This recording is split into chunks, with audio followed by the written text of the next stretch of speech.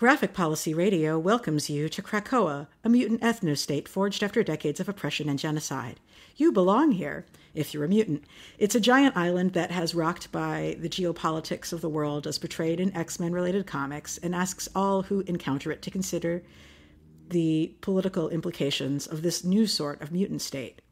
X Men has always been deliberately political, and the House of X slash Powers of Ten, and now Dawn of X relaunch of the X Men comics helmed by Jonathan Hickman revel in that. It's all X marks the spot at the intersection of comics and politics, and that's what we do here at Graphic Policy Radio anyway. I'm your host, Elana Levin, and joining me are two special guests. Jamelle Bouie is a columnist for the New York Times Opinion section, and returning is Spencer Ackerman, national security reporter for the Daily Beast, writing a book, Reign of Terror for Vikings, spring 2021. Welcome to the show, you guys. Hello. I'm really excited about this, you guys. Yeah, this is like the this is definitely the uh, people with lots of uh, thinking around the nation state as a construct and global politics uh, focused conversation. Um, I've covered House of X Powers of 10 before on, on the show, and I think at this point we're going to really focus on hearing from you guys rather than from me on this. And um, we'll be talking predominantly about uh, the X Men series itself within here. So we'll I'll probably end up talking a lot more about subtextual bisexuality representation with Kitty Pryde in a future episode mm-hmm. as opposed to this one. Um, but I want to kick us off by asking you, Jamelle, uh, what you know, you, you looked at uh, the Hickman, Rice, Bryson, that whole crew. Uh, what do you think about what they're doing with Krakoa as a concept in the comics? Just Krakoa as as sort of a nation state. Yeah, I think that's a very good question. Um, you know, so when I read this, when I when I read House of X Powers of Ten um, and finished it, I was just uh, so struck. I mean, the thing I was struck most by was this was Hickman and uh, company's attempt to sort of like really take like the the idea of a mutant identity is seriously. I don't know. That's the best way I can I can mm-hmm. think I can articulate it. That this isn't just you know if, if this is an identity as well as sort of a you know a, a set of powers a genetic thing if this is also an identity um, if these are if this is a people then what does a people do um, in in the modern world? It attempts to find itself a home uh, it attempts to find itself a state. And i you know, from uh, from the start of that series to the end, I was just very impressed um, by again this again the the decision to sort of take that idea seriously and and try to play it out as much as possible. Um, so yeah, I mean my my like predominant and I should say as like background here, my when I was a kid um, and a teenager, like I was mostly a DC guy. Um, hmm. I didn't read a ton of X Men. Like I kind of started reading X Men later uh, as an adult when I suddenly had access through like Marvel Unlimited and other things to like so much more of the of the catalog. Um, and so my like attachment to X Men has never been very strong, and I really jumped at this uh, this series as an, a, a, way to kind of get a fresh start, um, to sort of jump into a storyline, kind of knowing who these characters were, but not necessarily having a deep knowledge of uh, the various storylines and their histories, but being able to go take as much as a blank slate, knowing kind of what I know about the basics of X Men. So I'm the exact opposite. Uh, I am an X Men. I'm an X Men lifer. I've been yeah. reading the X Men since I was about probably seven or eight years old. Uh, I had, you know, the typical like lapse when you're, you know, like 15 or so until you're like, you know, 25, 26. So like I missed a lot of like late 90s, early 2000 X Men. But like aside from that, I'm like a chapter and verse person here. Um, and to say that uh, the X Men have experienced like a generation of creative darkness is not an exaggeration. Mm-hmm. And yeah. this is the X Men that I had always dreamed of existing, and like in in in my in my soul, like knew this franchise always was and always could be.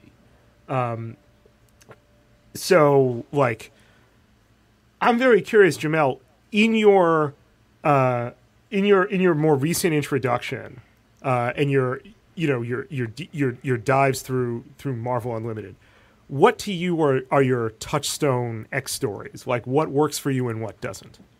So the thing that works most for me, it, it's really kind of only one thing because I didn't know it existed, and then I kind of stumbled upon it and was um, uh, uh, kind of completely sort of taken back by the fact that this thing existed. And I may be getting the, the title wrong. You'll know the title, and it's either what is it? It's either what um, uh, man kills, God forgives. God, God loves man. Yeah, yeah God, loves, man kills. Yeah. yeah. And I read that, and I must have read it like three or four years ago. It was just sort of like fucking taken aback by mm-hmm. how, um, just like yeah. How visceral it felt. It might have also yeah. been kind of like the the politics of the time as well, um, of the of the of the past five years.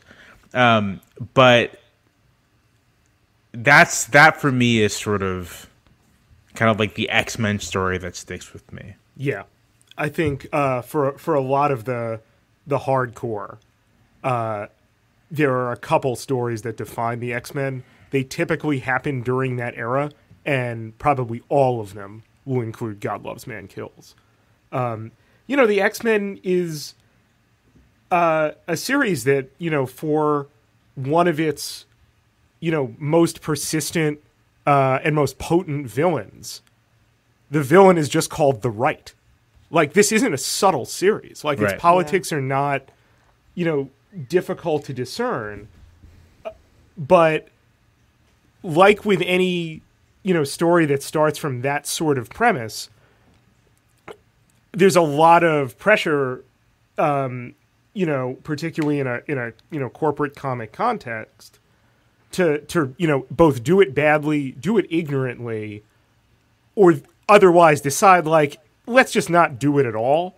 Um, and so like while you have, uh, you know, a franchise that's you know unique, I believe, certainly unique until it existed in comics history, that would say let's tell a story about oppression and marginalization from the perspective of the marginalized, and they get to be superheroes too. Like is is and you know even you know six decades later you know kind of amazing that it exists. Like that it that it that it gets to exist and you know can be um done very poorly but also done incredibly well and right now you know we're at a period in in which like it's i believe like better than than it's been possibly ever like, what do you, what do you, Elana, what do you think? You're, you've, you've, you've read tons of X Men comics. Yeah, yeah. You know, I, I, I'm, I'm excited that there's somebody who's really has such a big picture view of everything. You know, as I pointed out before, like part of the reason he's able to do that is because he's given a lot of creative control um, and given a lot of freedom that wasn't given to a number of queer and or people of color creators who were working on X books prior to this. But uh, but with his power, he's um, been actually treating it as an as real science fiction, um, and like there hasn't really been as much in the past looking at what are the economic implications of creating a mutant state, uh, and you know because there's been there have been utopias before. And utopia was... is one of my touchstone eras. I think that's an mm. incredibly underrespected era. I think Fraction and Gillen are amazing X writers and are never yeah. thought of as such. No, they are. They're fabulous. They gave us Mister Sinister that like oh, Sinister works. is a system. Like, oh, exactly. Um, so you know, I, I think like you know there have been mutant states before, and but this is this is different than the earlier ones because the way it is articulated is different, and um, you know there's a difference between having like almost like a refuge uh, temporary autonomous zone kind of thing, the way Utopia um, Island was off the coast of San Francisco, versus like this being like we are a nation and we're going to have diplomacy with you and we're that like that and being able to actually focus on that is really exciting. Like one important difference is that uh utopia didn't purport to like settle the ideological question within mutant kind let alone between mutant human relations. And utopia is dedicated just to that project. Like utopia is not or i suppose like like any you know conscious construction of a nation state, it's an ideological project as much as it is uh, a, a, a, political and geopolitical one, which you is know, inevitable. It, and, and, it, and, I wonder why, um, you know, Fraction and Gillen didn't quite um, get there. But I cut you off. I'm sorry. I was going to say, I mean, one of the things that I've been but it's been fascinating to me is the you know fans are all super excited about this because this is big picture big thinking you know x-men books uh, and that there's so many happening at one time um, but uh, and I felt like I was kind of one of the only people who was saying like these are amazing, but is anybody else worried about some of these implications? And yes. everybody's like, no, Elana, you're terrible for worrying about them. So I was like, you guys might be people who might also be worrying about, and I don't mean worrying about them from the standpoint of like I think the direction that Hickman is taking this is fascinating. I'm not worried about like the comics that will come after this. I mean that uh, you've created an ethno state, and as someone who's Jewish, I have seen how those go. It's bad. Um, and uh, I felt like there was a lot of sort of indiscriminate, like, "woo, we have it now," and you know, people. It, I don't want to say that this is a complete like metaphor for any you know this is not like 100% like metaphor for zionism there isn't uh, there's no Nakba there's no mass displacement like it's different but i can't just be like this is happy time. So I, I that's enough for me on that question. I mean i'd love to hear from you guys about your thought about like is the obviously this is this is good fiction but like is the, do you feel like this is is this an idea that's going to work? Is this an idea that um, is this an idea that you know I, I and I am I'm entirely sympathetic with I, I, I, I want it to work for them mm-hmm. you know but yeah. You want to go first or should I? You yeah Spencer you go first. I want to hear what you have to say and then I think I'll sure. Um so with with any X book you really do have to ask like it it's going to depend on how seriously they want to take that concept. Like I you know get a whole lot of you know from my own you know background inevitably you know zionism vibes the same ones mm-hmm. that that you got but you know because you know krakoa is not peopled the the the analogy really can't you know work what it what what this is is kind of uh the way i don't know ahad ha'am um you know might have thought of a of a of a Jewish state, you know, without of ever considering that there would have been another people uh, and and another you know question of sovereignty um, to have to start. It's it's it's I suppose like uh, when Zionism likes to consider itself innocent, um, but I I don't really think beyond there. Um, we really do have you know much more to the Zionism analogy, except in the generic sense you know the, the the kind of you know cultural sense of uh, an oppressed people that's been scattered to the wind and vulnerable because of that, uh, with a question of coexistence uh, with humanity, never really one except a question of momentary survival, uh, needing that refuge and finding suddenly it has a way to do that, and that isn't you know necessarily just a, a capital Z Zionist story. That's you know that's a story of a lot of people, um, and and that's one of the reasons that you know X Men at its best, uh, you know, works precisely because it can be fitted into a lot of different um, uh, people's contexts. Um, nevertheless, you know, and we see a whole lot with with X Men Four, um, the way this this has so many different dimensions. You know, we ha- we have so many questions about you know not just you know problems of the nation state but also you know problems within nation states what kind of nation state is this going to be um, we have something of a governing body of the founders of uh, of utopia but no one elected them nope Uh, and no checks in that. Yeah. there, you know, someone like Apocalypse gets to be on it. Like how if you're if you're Archangel or if you're any of the other mutants uh, whom he's tortured into submission and thrall, how do you feel about that? Um, there are lots of people who live on Utopia uh, who've had loved ones killed by Magneto. Um, some people are more, you know, kind of used to that at this point or not, but like that's a major question of, of, of what sort of place this is going to be. And then the other people who are on the council are the oligarchs of Utopia, the the economic driving force of, of the Hellfire uh, East India Company. Um, so, you know, we're perhaps already seeing uh, some uh, some potent uh, ways in which Hickman and team can subvert what they've set up as they establish it more. I mean, it's funny when I when I, when I think of analogies to this. What I, what I think of um, are the are is sort of the Pan Africanism of uh, early 20th century America. I think of um, the attempts to create or, or the the political effort, the radical political political effort to create sort of a, a black homeland within the United States um, that's its own autonomous nation. And then broadly, just sort of, I think about kind of the formation of the black community itself. And Spencer, your last point gets gets to something that I'll be interested to see explored in this series, which is that for the African American community for most of the 19th and 20th century, the rigidity of the racial caste system um, simply meant that social and class divisions within it weren't as salient.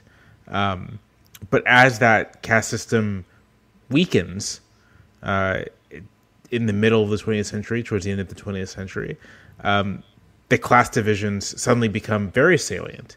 Um, not as salient as they might be in the absence of any kind of like racialized system around them, but still very uh, salient. And these questions of, you know, and you can relate it to X Men, right? It does. We're all mutants, and we're all we all do face this sort of fundamental threat, but um, our mutant hoods are different. Um, Our relationship to sort of the factions within mutanthood are different. The fact that we've been able to say we have this homeland Krakoa, we uh, have this language, we're, we we've agreed to a set of um, laws and ethical commitments doesn't change our respective histories and doesn't really fully alleviate um, uh, whatever tensions came before.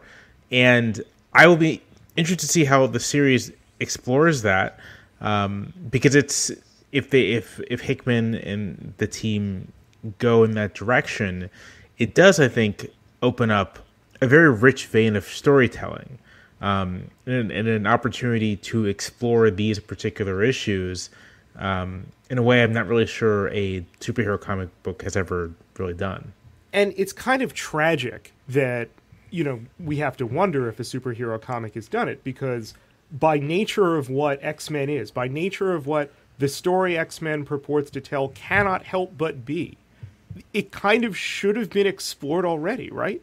Um, one of the things that as a 30 plus year x-men reader has been like a source of very ironic frustration to me is that outside of establishing that there are the there are these twin poles um, concerning the relationship to humankind of Charles Xavier and Magneto, which is even not really about you know what it purports to be about because Magneto is is explicitly a mutant supremacist. Um, aside from that, you don't really have a lot of particularly substantive exploration of the varieties of of ideological factionalizations and their commitments, um, and how you know they would manifest, you know, in a fight. Um, you know, the, which is the way these these sorts of soap operas tell themselves uh, with avatars. Um, doesn't really happen particularly much, and when it does, um, not particularly thoroughly. Um, you know, one example that I I kind of come back to is that there's something called the Mutant Liberation Front. And outside of a generic commitment to like committing mayhem on behalf of mutants and being terrorists, I couldn't tell you what it stands for.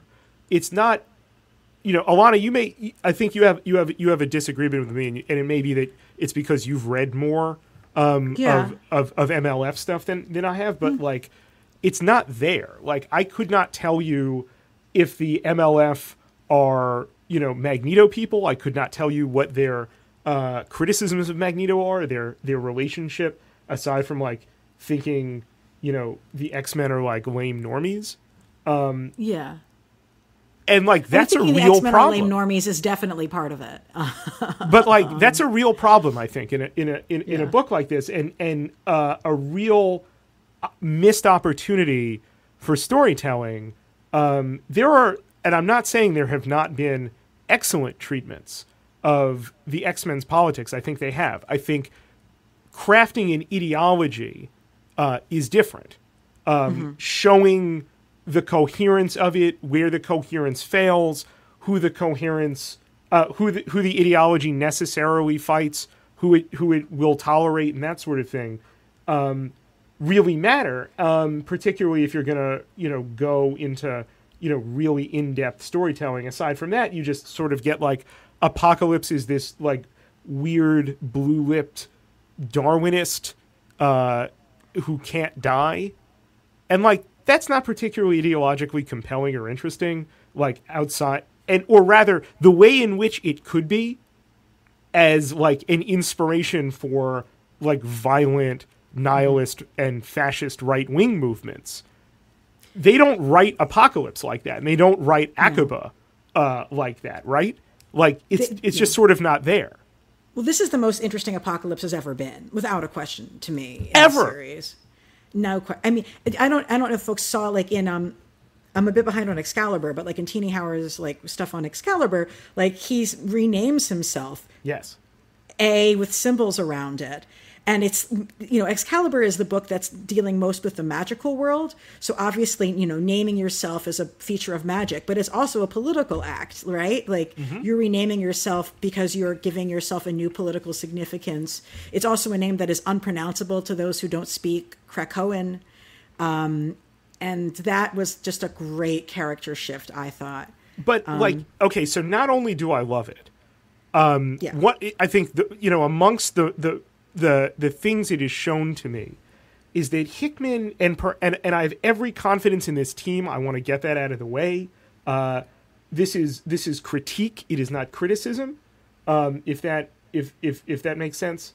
Um, the the moment that it it really seemed to occur to me in Hoxpox that Hickman means to say that uh, Krakoa has settled or at least put in abeyance the mutant question, the question of mutant ideology wasn't, you know, the Xavier Magneto alliance because like, you know, flip a coin in any status quo and, you know, their friends or their their their enemies. But when Apocalypse like shakes Xavier's hand and is like, I'm with this. And like that's shocking and it it seemed to say to mm-hmm. me that, you know, it warranted kind of a greater story and exploration about why Apocalypse should think that like mutant kind giving up explicit dominion to the entirety of the earth and pursuing a strategy of economic uh, as we see in X-Men 4 which we can talk about in a second um, strangulation. Um, I can see why that might be appealing to Apocalypse but like I, I, I, I need to know a little bit more right um, because you know either this sets you up in a way that it goes very ideological and and explores precisely those differences in ideology that Krakoa is supposed to reconcile, or it's going to do the exact opposite and not deal with those questions at all, and just sort of treat it all as a settled issue, and possibly to subvert that issue in the form of fighting, sub- subvert that that that settled issue in the form of fighting later on, and you know we we see you know there every time there's a utopia, there's always a schism. Um, so Yeah. you know, I'm not saying I don't expect that, but um, ideology is something that that I found has been uh, a weak point in a franchise where it's always just sort of naturally set up to be a strong point, and I'm really, really hoping that that that's what we'll ultimately get with Dawn of X. Well, characters do talk about their politics a lot. What I think is missing is political organization around those different political ideologies. I mean, we do, there is a reason why X Force was X Force and X Factor was X Factor, like in the heyday of those old series, right? Like one of them was like, we're going to do this as basically terrorists, and the other was we're going to do this through the government. You know, like, and those were political. Fa- those that was a political ideology driven schism within X Men that resulted in you know concrete political outcomes. But um, but I think there could be so much more. I mean, based on how much time I spend trying to like stop like my Bernie and Warren friends from yelling at each other. There could be a lot more time spent on dealing with the internal politics of like, are you a Scott Summers guy or are you a Magneto guy? Or you right? Yeah, or like so I want to push back a little because okay. yes, you're you're absolutely right. Like as a matter of just like resting fact, you know, the X four the you know the the uh, the X Factor team that is like the government mutant super team is going to have different politics than than the ones that are like running around in abandoned bunkers and blowing stuff up. The trouble I have with X Force is that you you and I think X Force is one of the best concepts uh, in in um, in all of mutant kind. I love it. Uh, I mean this unironically. Uh, I I you know we we all go through you know our cycles of of Liefeld. Um, and and I don't. And, but and yes. my, no, no, I'm I'm I'm straight up pro. I'm I'm I'm I'm a Rob, I'm a Rob Stan, and like nevertheless, when it actually got to to being fleshed out, like you just sort of knew that like X Force was just about being extreme. It wasn't like what was like the version of Xavier's dream it was fighting for. Like it it was pretty agnostic about about that. You knew it was in the kind of D and D sense, like roughly aligned with X Men but you know the the, the, the like the the ideology was tacit rather than developed, let alone explicit. Mm-hmm. One of the ways in which you can sort of see that is that like, and I think this is also true in many cases of of other X teams as well. Like the choice of enemies isn't an ideological choice.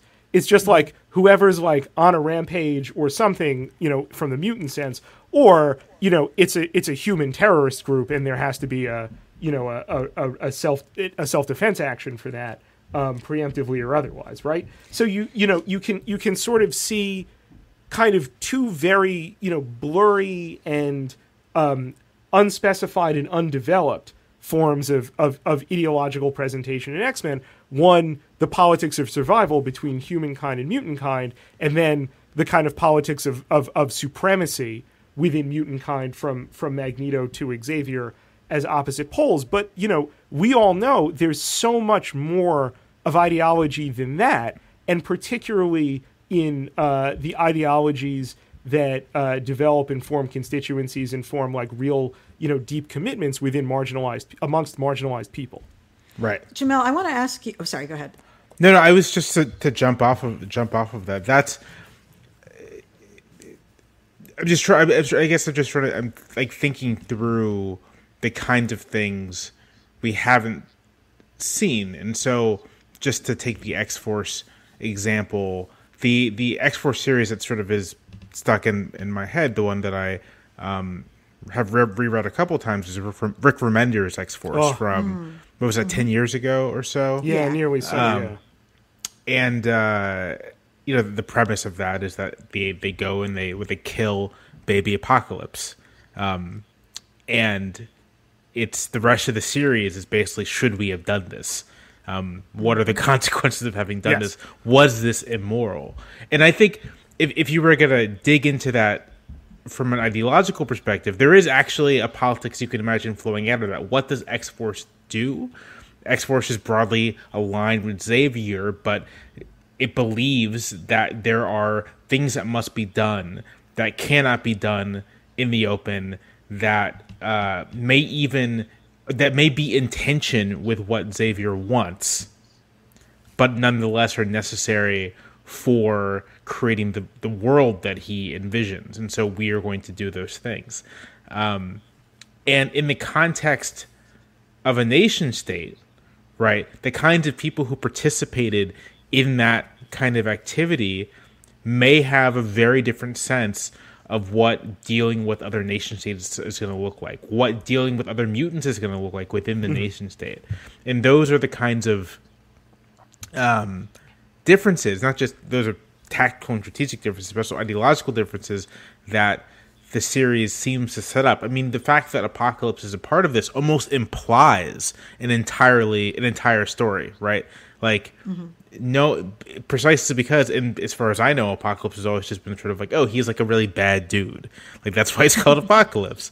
Um, yeah. But the fact that we see them approach him and he agrees um, seems to suggest so much more and seems to again imply um, imply a kind of ideological difference that we haven't really seen. And I think that's that's sort of what what I think works about this series. Just to step back a little, is that so much of it implies things that can be filled in filled in later, um, mm-hmm. but by by simply taking by going in this direction and by sort of treating certain things not as settled, sort of like, oh, of course, of course, this crew of people would have a set of interests that need to be assuaged, even though you've never actually seen that really ever happen. Um, it, it opens a door for to a lot of different approaches you could take. So, like to to to give like one one example that that it stays with the X with with the X Force example um, the era right before uh, the Remender one uh, was was one in which X Force was basically uh, Cyclops' is JSOC. And Jason, you should explain that. Yeah, so the the Joint Special Operations Command, basically like the people uh, who like killed Osama bin Laden, um, the the the the real the dirty work of Empire. Yes. Um, uh, highly kinetic, uh, an intelligence operation as much as it is uh, uh, a rating a rating one, um, and you know this was uniformly shown as an external activity. Sorry for the pun. Uh, that that Cyclops needed someone basically like he needed like Wolverine, X twenty three, Warpath, Archangel, Psylocke, uh, Wolfsbane, like the the the the killers of the X community to like go kill the right, like go kill the League of Humanity and so forth. Um, what you never saw, what and like that's been a, that's been kind of a default like mode of X Force. Um, it takes like departures uh, to do something like a uh, a Remender. Um, what you what you never see, even though you kind of suspect like would actually happen in a circumstance like this, is X Force used on other mutants as part of a political purge. Yeah. And like, I'm sorry, I want to see that shit. Right. right. Right, you I mean, want to ask you, you want to see Wolverine, right? Decide that there is a group of mutants on Krakoa too too dangerous that can be allowed to be allowed to live. Well, and and like it could just be ideologically dangerous. Right. Right. You know, exactly. Like, this, this, ain't personal, Bobby. I mean, know what it makes uh-huh. me think of? Um, uh, to stay within Marvel, it makes me think of Ta-Nehisi Coates' work on Black Panther. That it could um, go in that direction. Yeah. Uh, Jamelle, what are your thoughts on the East India Trading Company? I'm sorry, the uh, Hellfire Trading Company, like as a, an, as a like how it's done, how that's dealt with in the comic as a concept for like doing um, economic power, waging economic war in a way that well, like you know, results in fewer deaths and more peace. But I don't know. What do you? Yeah. Think? So I, I guess I have a question. I don't know much about the Hellfire Club. Is um has this always been a part of kind of the mythology of the Hellfire Club? Have, have no, they are they're using a name of a group of people who were the elitists, basically having like a club to it's, rule the world and have like fetish gear with each other. It's it's weird and horny. yes, they're weird. It's always historically been weird and horny elitists, um, and and that was one of the reasons why using the name for something that like was being like to wage you know economic pressure with and not war was an interesting choice. But then it's also constantly referencing that it's referencing the East Asia Trading Company, which is like terrible. Right. So. Um. I, I guess this this is a, a big provides a segue into the, the most recent issue of X Men. Um, mm-hmm. But I mean, I, I, find it interesting. Having just read that issue, um, what I find interesting is how it's being leveraged as almost a critique of kind of like the Western economic model, mm-hmm. um, and how you know the what what uh, Hickman seems to be doing with Hellfire Club um, is uh, is almost is to say almost to the human world.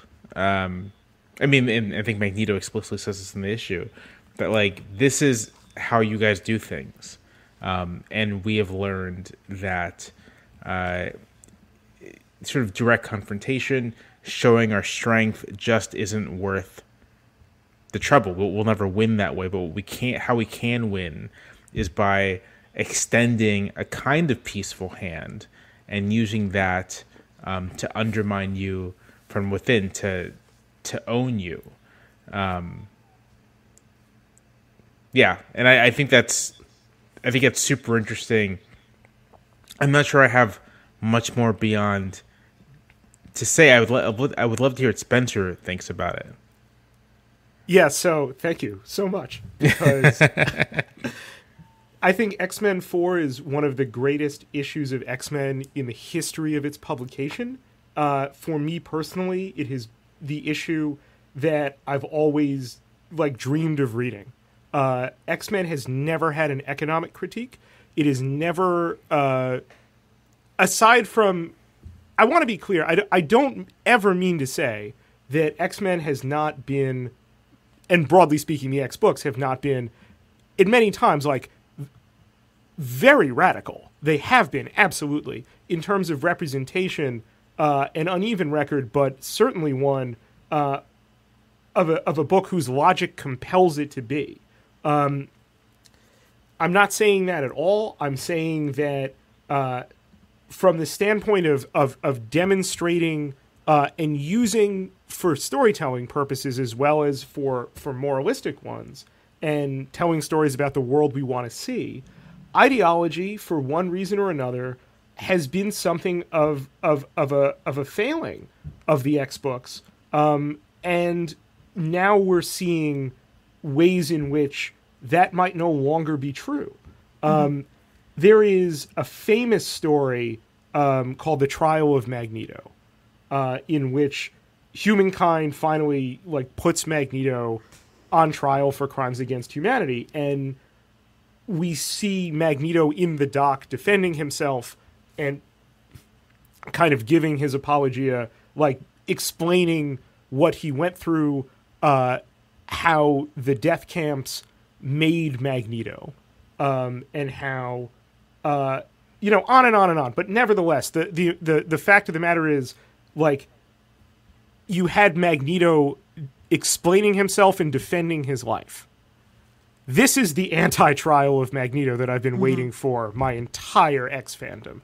This is now Magneto finally dictating terms to the world, not like you know waving nuclear submarines above his head and talking about how you know the fall of humanity is nigh. Now he's saying explicitly, I am going to use in the service of my people's survival uh, that you have called into question and now made necessary, the way I will ultimately secure our liberation is through an externally focused neoliberalism that will ultimately lead you to sell you the rope that I'm going to use to hang you. Yeah, I was just about the. I was just about that. Like that line immediately popped in my head as you were as you were ch- uh, chatting. It's it's um, it's uh, the Magneto as Lenin.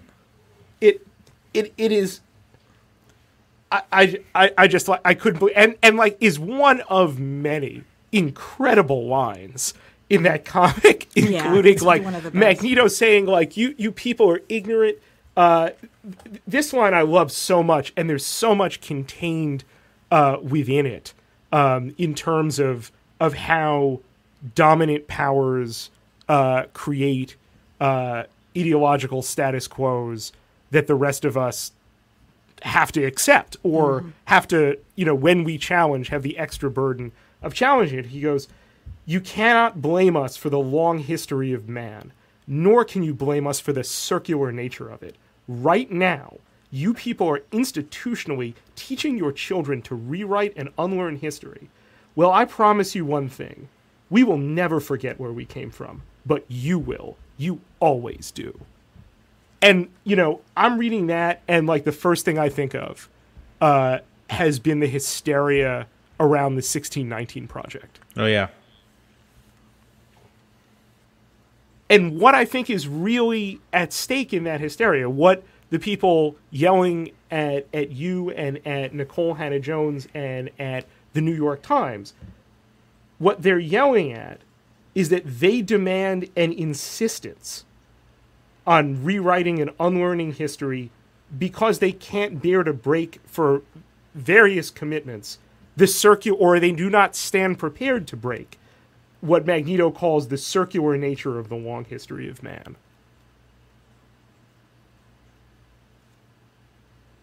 Yeah. I mean, the X Men at Davos itself mm-hmm. is such an amazing thing to have somebody do. Like to even to acknowledge how like the World Economic Forums and things like that are actually significant in those ways, and um, was just such a great a great choice. Well, uh, and and especially because you notice that the X Men need to dictate the terms of mutant human relationships somewhere, and it's not, for instance, at the United Nations yeah. It is Hickman making a deliberate point about who, in fact, determines the world. And you There's notice so, there, yeah. yeah. There's so much critique of capitalism in this series. It's, it's really nothing but nice, you know. I mean, it even you know when Shaw says you know you know human you know one percent of the humans control ninety percent of the wealth, and of course Shaw has always been with that one percent. Right. But um, I, I've always appreciated the moments in the series where they actually are referring to real world fact stories and um, and information in it, and le- a little bit more like yeah when they've gone hardcore fictional in you, a way. You know that Sebastian Shaw has been on Jeffrey Epstein's plane with like Bill Clinton. yes. And like Just, the people, yes. the people around this table at Davos are such pieces of shit. Like after Magneto gives the the Huxley quote, someone says, "I find it mildly amusing to make your point. You have to quote a human author." Then again, there aren't many famous mutant authors, are there? And, and like comics, someone, yeah. someone has been like in all of our mentions, like saying shit like that right, at some right. point in time. I mean, it is, uh, it it is striking how um, in, in the first issue of House of X, the sort of the state, the the statement of mutant independence, the Declaration of Mutant Independence, um, comes with this economic hand, this economic uh, offer. Um, that from the beginning, Hickman is uh, sort of.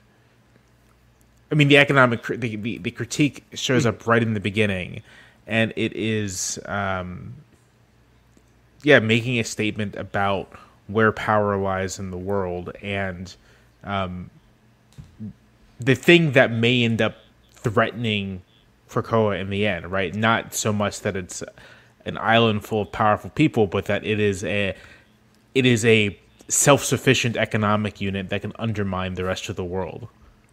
And that in terms of the thing that makes Krakoa most economically relevant to the rest of the world it's presented as solving a problem, solving an existential problem, right? Solving an existential problem that speaks to uh, the anxiety that humans feel about mutants, which you know boils down to "you will not replace us," right?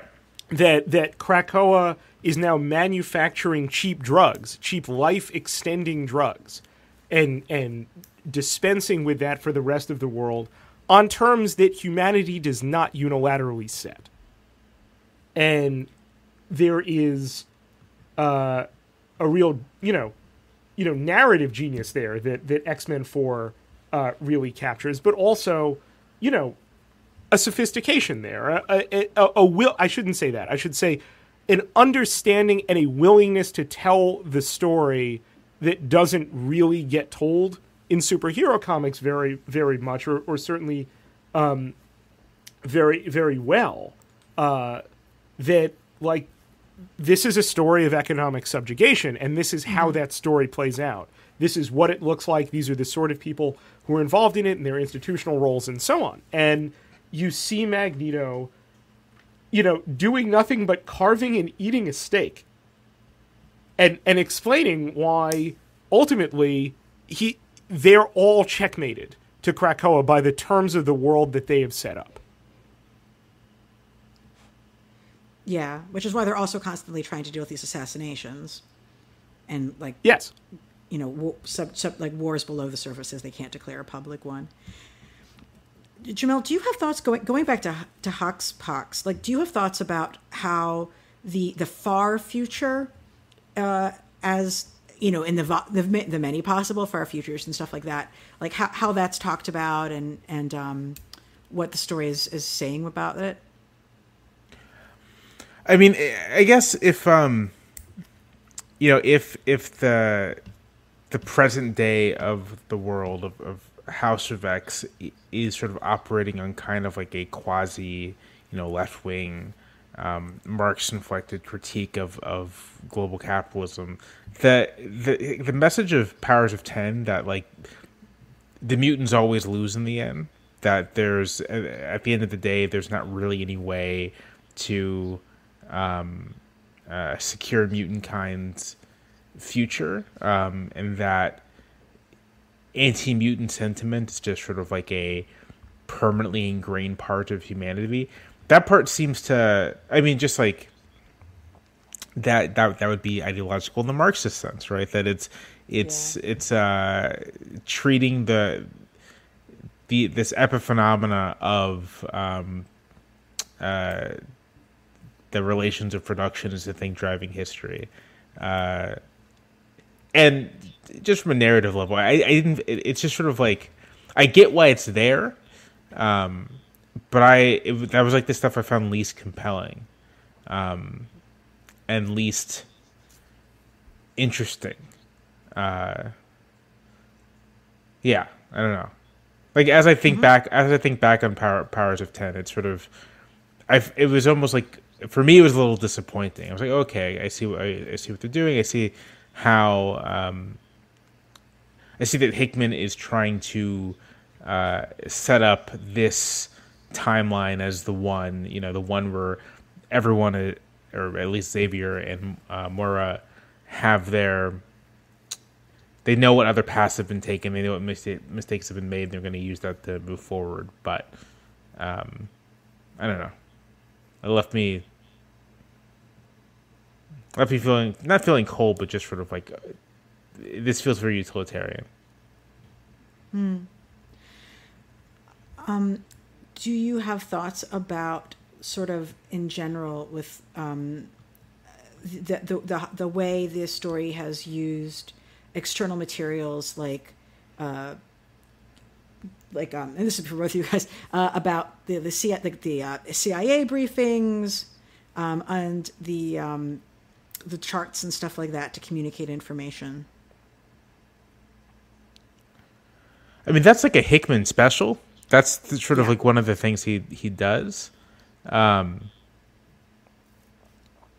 I honestly haven't thought much about it. Like I've really taken that okay. on the surface level, just for like, oh, this is you know, having read all of the Avengers stuff he did and all of the Fantastic Four stuff he did. I was like, oh, this is this is kind of his his style. Spencer, do you have any deeper thought on it?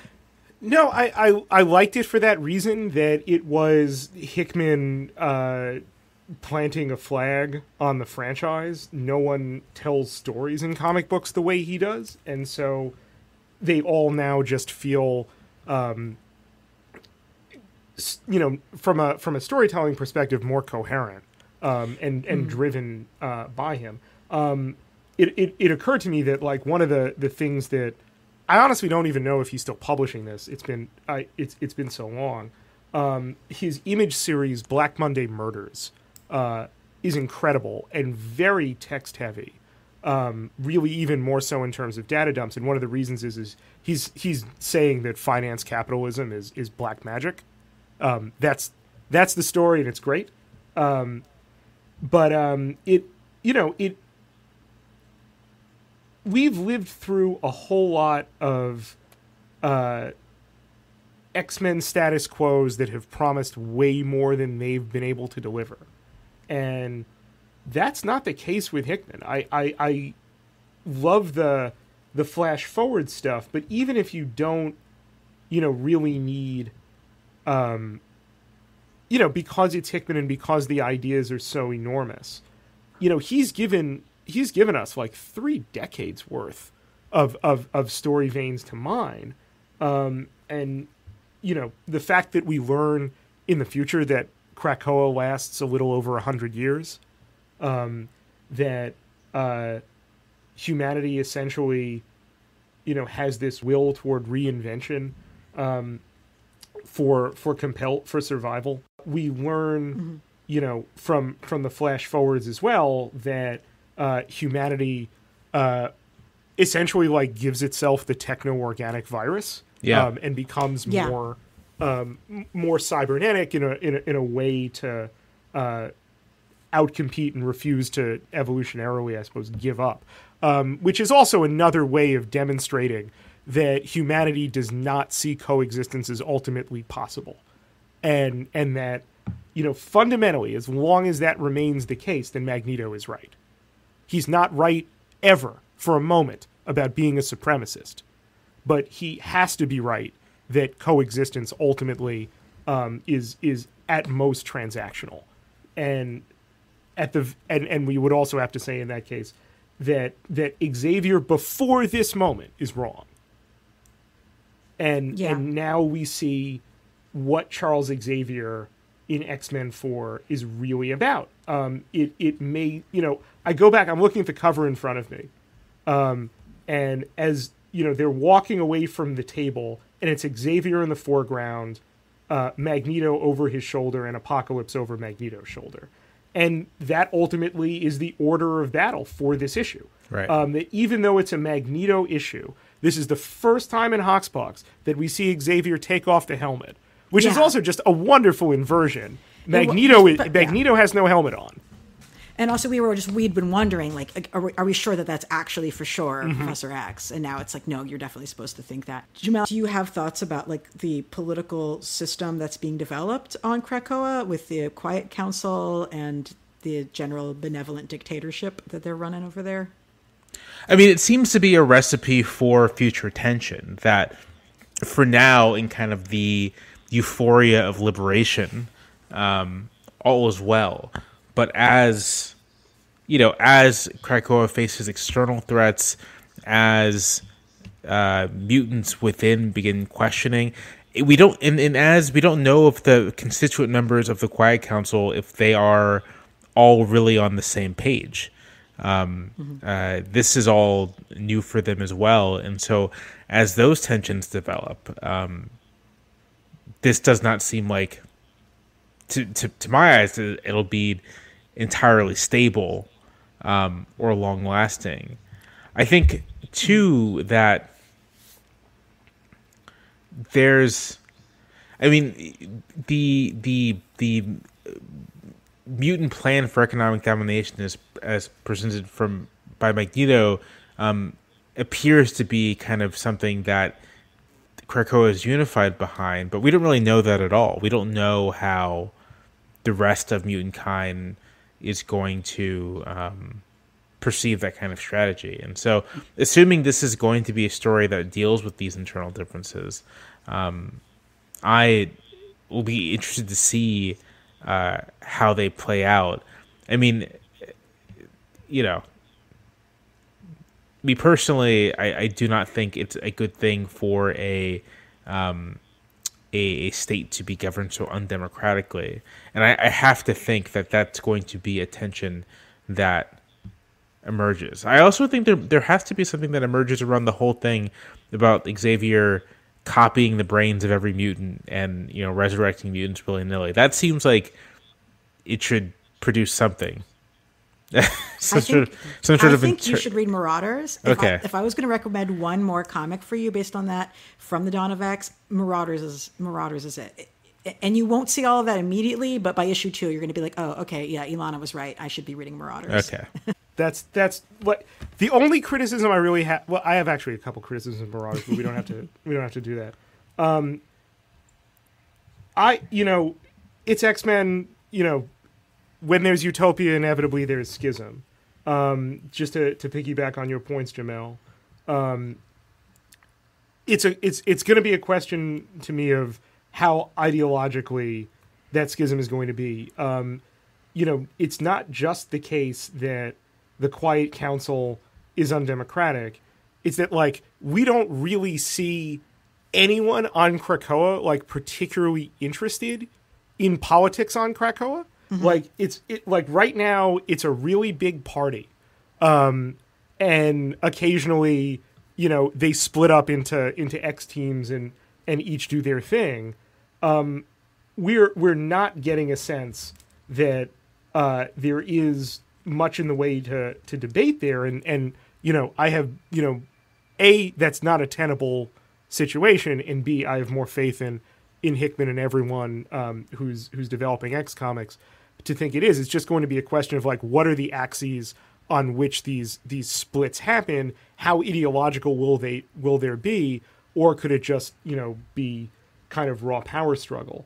Um, I you know think that you know one thing that we really haven't seen something that's also been kind of taken for granted and you see this with the story page explanations that's always mutants around the world are flocking to Krakoa to, for safety, freedom, and to be part of the first, you know, mutant society.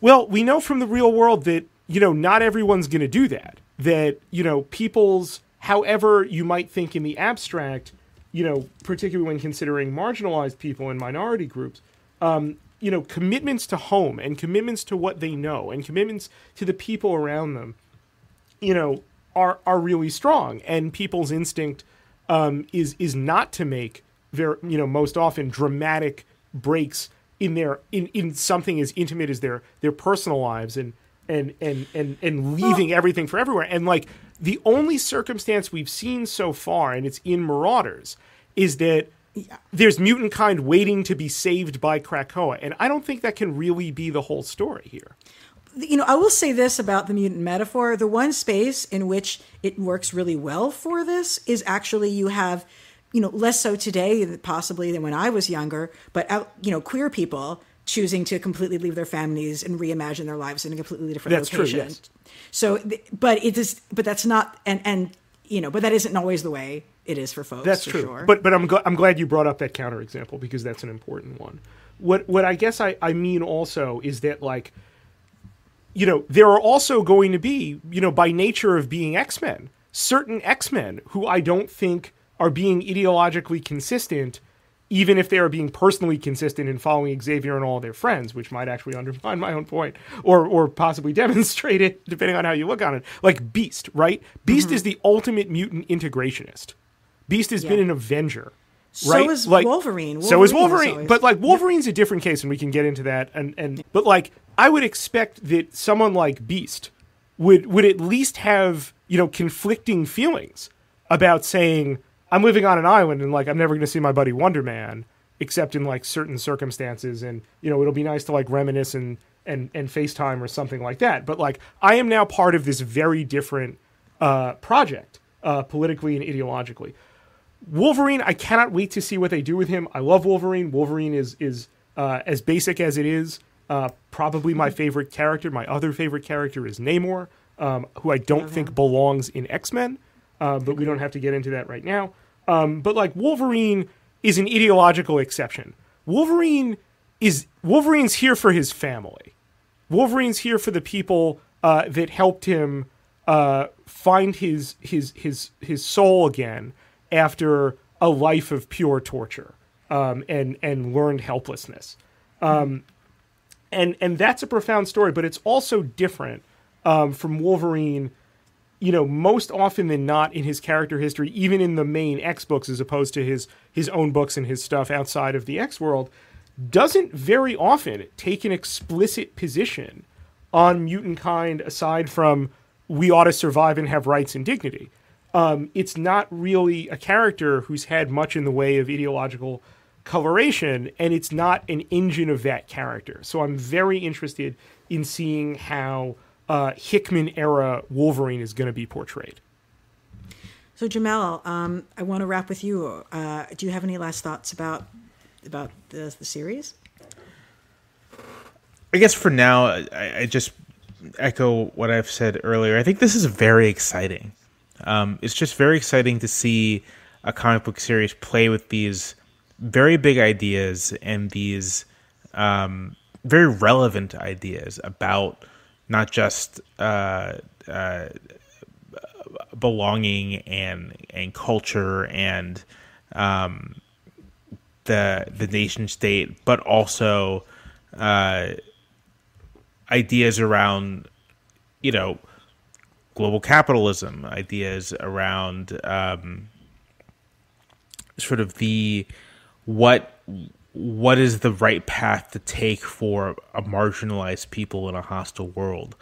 Um, I'm very I'm just very excited to read this. This is you know this has gotten me uh, back to my local comic book shop and like having a pull list and everything. So I'm I'm um yeah I'm just thrilled to see where this goes. I, I think this is uh, shaping up to be just like a remarkable uh, piece of narrative fiction, and um, I hope it's recognized as such. Well, thank you for joining us, and I would love to have you back anytime in the future because I think that there is going to be a lot of substantive story to continue to talk about. Oh, my pleasure. Happy to be here. And for our readers, we can obviously find you in the page of the New York Times as well uh, as on Twitter. Uh, what's your Twitter handle again? My Twitter handle is just uh, J Bouie, J B O U I E. Um, my name on Twitter is B Boy Bowie Bass, like the Beastie Boys uh, song, um, but it's just me. Awesome. Thank you again. And Spencer, where can folks find you on uh, the internet? I'm I am at uh, thedailybeast.com most days, uh, writing about at this point um, Iran. Uh, I'll be. You can find me uh, in your local bookshops um, next spring. Um, that's spring 2021 uh, uh, for my book Reign of Terror, which is the story of how the war on terror over the course of a generation destabilized America in a nationalist direction that became one of the pathways that uh, wrote that Donald Trump wrote into power. Um, you can also find me uh, on Twitter at Attackerman. And I'm so the book the book could not be more timely, sadly. Um, and I'm on Twitter a little too much. E L A N A underscore Brooklyn. That's Elana underscore Brooklyn. Graphic Policy Radio is on every podcast platform I can think of. And this is what we do. We dig into the conversations around politics and comics um, and in comics adjacent media. So, uh, you know, we're covering Watchmen very soon. We just covered Mandalorian, and um, we we are definitely, if you're looking for the kind of people who are excited to see X Men go to Davos, this is the podcast for you. So I hope you guys will stick with us. And as we always say, thank you. Keep it geeky.